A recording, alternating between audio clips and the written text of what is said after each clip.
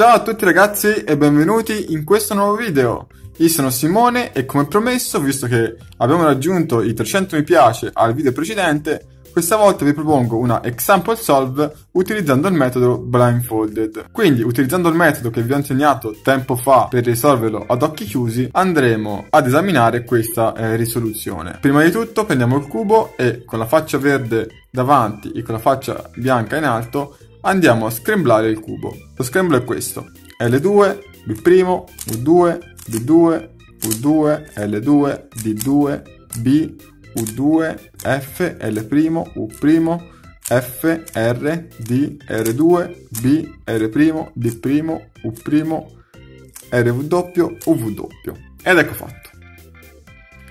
Questo è lo scramble. Prima di fare qualsiasi cosa posizioniamo appunto eh, il cubo nel giusto orientamento. Il mio orientamento è sempre con il verde davanti e il bianco in top. Adesso vedo subito che mm, ho uno spigolo flippato, da flippare comunque, e questi due angoli già risolti. Quindi ecco, questo mi semplificherà il lavoro perché avrò da fare delle cose differenti rispetto al solito. Quindi, primo passo, è memorizzare gli spigoli. Primo spigolo da memorizzare ovviamente è quello in posizione buffer, che è questo spigolo qua. Ora, utilizzando le lettere che avevo insegnato nel video precedente, questo sticker deve finire in questa posizione qua, che corrisponde alla lettera K. Quindi memorizzo K. Adesso vediamo questo spigolo sticker qua che siccome fa parte del buffer io eh, dovrò già rompere un ciclo. Quindi devo subito iniziare un nuovo ciclo. E per fare questo quindi devo scegliere un altro sticker. Io ad esempio potrei scegliere questo sticker qui perché al momento mi torna comodo. Quindi scelgo questo sticker che sta per F. Quindi le lettere che ho memorizzato fino adesso sono K ed F. Poi questo sticker deve finire qua giù in basso che corrisponde alla lettera X quindi memorizzo X. Questo sticker deve finire qua, che corrisponde allo sticker R, quindi memorizzo anche R. Poi questo sticker finisce qua giù in basso, quindi memorizzo Z. Poi questo sticker finisce qua dove ci sta la lettera F, quindi memorizzo F e siccome sono tornato nel punto in cui avevo iniziato il ciclo, allora termino questo ciclo e siccome ho finito il ciclo mi potrei fare la domanda, ma ho finito di memorizzare tutti gli spigoli? Beh, no, perché ad esempio da questo spigolo qui non ci sono mai passato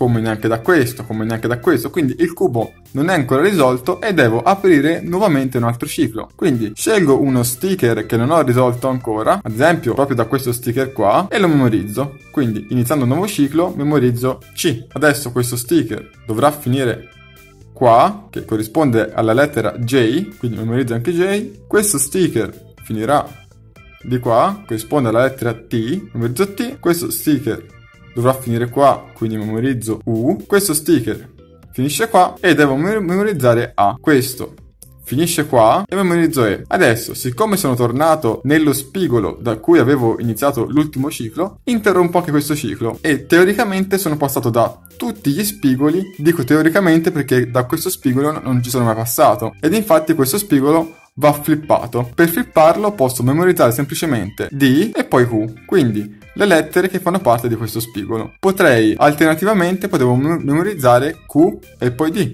Non sarebbe cambiato niente.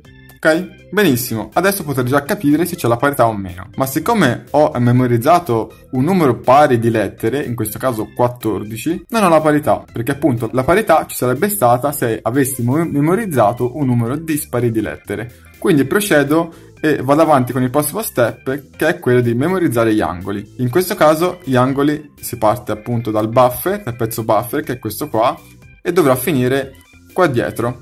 Quindi memorizzo la lettera P. Adesso questo sticker deve finire qua giù in basso, quindi memorizzo anche V, poi questo sticker deve finire qua, quindi memorizzo la lettera I. Quindi siccome adesso sono finito in questo sticker qua, ma questo sticker qua dovrebbe finire Qua però ricordiamoci che questo è l'angolo buffer, quindi a questo punto interrompiamo il ciclo e iniziamo il ciclo da un'altra parte.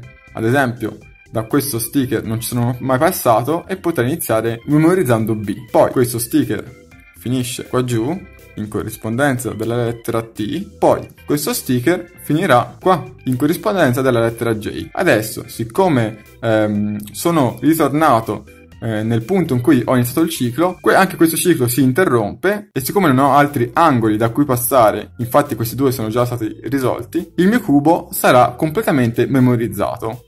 Quindi adesso ci dovremmo bendare o chiudere gli occhi e iniziare a risolvere seguendo la, eh, la, la, sequenza di lettere che ho memorizzato. Ovviamente non vi faccio vedere l'esecuzione della solve perché secondo me risulterebbe un po' noioso da guardare. Infatti la chiave fondamentale è capire bene qual è la giusta sequenza di lettere da memorizzare e questo ve l'ho spiegato appunto in questo video. Dopodiché l'esecuzione non si tratta altro che applicare la T-perm per gli spigoli o la Y-perm per gli angoli usando le opportune setup move. Quindi ecco potete fare anche benissimo da voi. Spero che questa example solve vi sia piaciuta e se volete altri video del genere dove appunto spiego come ragionare sulla risoluzione dei vari cubi eh, lasciate tanti, tanti tanti mi piace che una volta raggiunti i 300 like pubblicherò un altro video della serie.